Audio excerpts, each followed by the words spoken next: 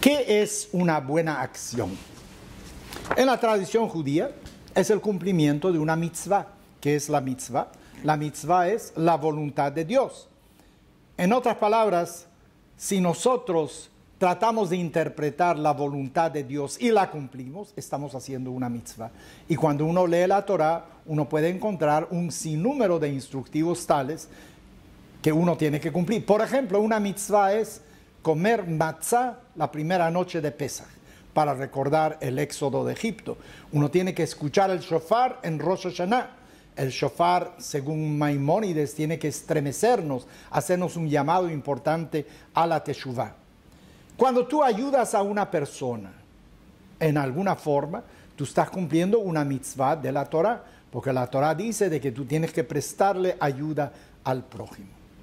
Ahora yo quisiera hacer una diferencia según lo que leí de el gran Rosh Yeshiva de Volozhin, Rabbi Naftali Tzvi Yehuda Berlin, o mejor conocido como el Netziv. Él dice lo siguiente, hay una cosa que es Divrei Hashem, la palabra de Dios. Otra cosa es Retzon Hashem, la voluntad de Dios. Divrei Hashem leemos en la Torah. Dios dice, tienes que compartir, tienes que darse de acá. Ese es Divrei Hashem. ¿Qué es Retzon Hashem? A lo mejor cuando tú das acá, le das a alguien una cierta cantidad de dinero para que pueda comprar comida para su familia, estás cumpliendo con Divrei Hashem. Pero si tú le das trabajo a alguien, le enseñas un oficio, le enseñas cómo desarrollar cierta aptitud que él tiene, lo que estás haciendo ahora es Retzon Hashem, realmente la voluntad de Dios. Una cosa es la acción, pero otra cosa es en realidad la meta de esa acción. La idea es no tanto de darle algo a la persona necesitada, sino independizarla, hacerla libre de todo tipo de ayuda para que no necesite ayuda en el futuro también. También quisiera diferenciar en dos cosas. Cuando tú cumples con una mitzvah, estás cumpliendo con la palabra de Dios. Hay otra cosa que es el efecto del cumplir la mitzvah sobre la persona que lo está haciendo. Dicen de que uno de los rabinos muy famosos se llamaba The Kotzker Rebbe. Tenía una mente sumamente aguda. Cuando él era niño todavía estaba estudiando con su maestro y su maestro le dijo de que cuando nuestros antepasados estaban en el desierto, todas sus necesidades estaban satisfechas. Por ejemplo, ¿de dónde sacaban ropa para vestirse? Parece que la ropa le duraba todo el tiempo. ¿De dónde tenían para comer? Llovía del cielo maná. Todas sus necesidades de alguna manera estaban satisfechas. Todo el mundo. Entonces le dijo el joven, que eventualmente sería el rabino de Kotz, le dice a su maestro, si eso era así, ¿cómo cumplían nuestros antepasados con la mitzvah de tzedakah, de ayudar al necesitado? Nadie necesitaba algo. Entonces, ¿cómo se hacía eso? En el trasfondo, ¿qué es la pregunta? La pregunta en realidad es, cuando yo doy ayuda a alguien, eso produce algo en mi persona también, me mejora a mí. No tan solo que ayuda a la próxima persona, tiene un efecto sobre la persona que lo está dando.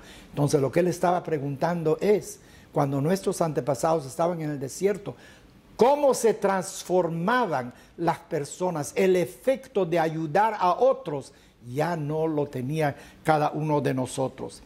Entonces deberíamos de pensar cuando hacemos una acción, cuando estamos de pie ofreciendo un rezo a Dios, por un lado estamos cumpliendo con la mitzvah de tefilá, de agradecerle a Dios, alabar a Dios, pedirle a Dios.